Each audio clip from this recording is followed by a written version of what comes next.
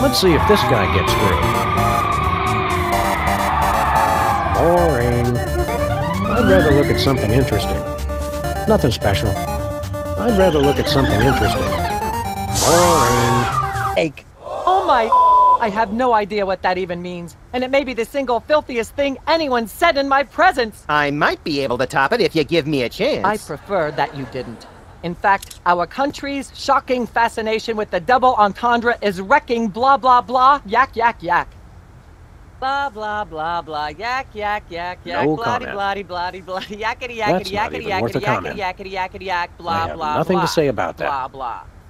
No blah, comment. Blah blah blah. Woohoo! I have nothing to say about that. I can't bring myself to comment. What to say? What to say?